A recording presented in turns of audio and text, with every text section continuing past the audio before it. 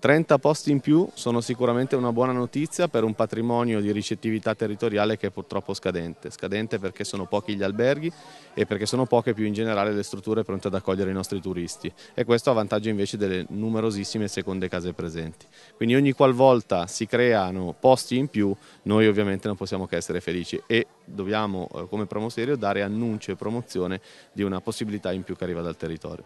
Guardando avanti cosa dobbiamo aspettarci? Dobbiamo aspettarci di utilizzare tutti i canali a nostra disposizione partendo sempre dall'esistente e senza inventarci eh, strane cose che, di valorizzare il territorio sotto tutti i punti di vista. Dall'anno prossimo saremo eh, attivi con lo sviluppo del tavolo di lavoro su Serio Green, che sarà proprio questo progetto di promozione delle aree verdi del nostro territorio, di quelle che sono le oasi dell'Alta e della Media Valle Seriana, che ci vedrà protagonisti insieme al Parco delle Orobie. Vogliamo eh, sviluppare la comunicazione e la promozione su questi ambiti, creare percorsi itinerari insieme alle guide agli accompagnatori che andremo magari a formare con corsi di formazione anche nell'ambito dei ragazzi dell'università e ovviamente poi coniugare il territorio con la ricettività presente.